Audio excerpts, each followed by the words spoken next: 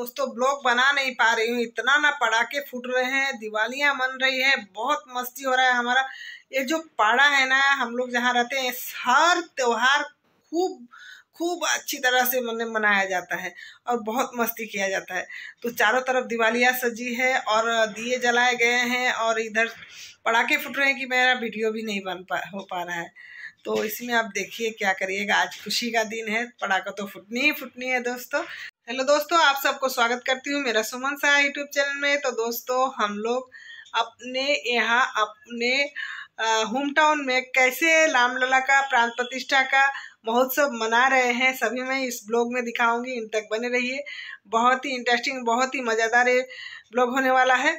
और हमारा घर का पास ही माठ है, माठ में हम लोग बहुत एंजॉय कर रहे हैं। और यहाँ शाम को खिचड़ी भी बटाएगी, यहाँ हलवा भी खा रहे हैं। तो सभी मैं दिखाऊँगी पूजा पाठ और सभी कीर्तन, भजन और बच्चे सब छोटे छोटे कितना सुंदर से सजे हैं, सभी मैं दिखाऊँगी। तो चलिए इन तक बने रहिए। तो चलिए चलते हैं।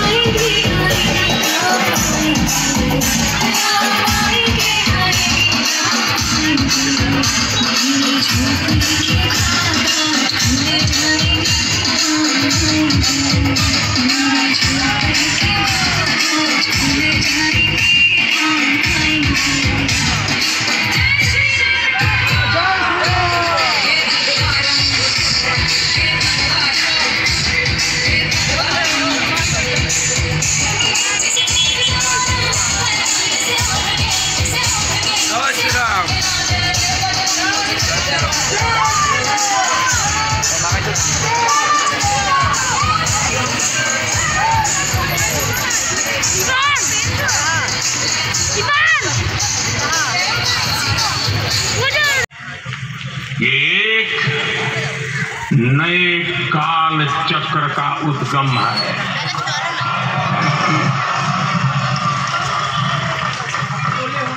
राम मंदिर के भूमि पूजन के बाद से प्रतिदिन पूरे देश में उमंग और उत्साह।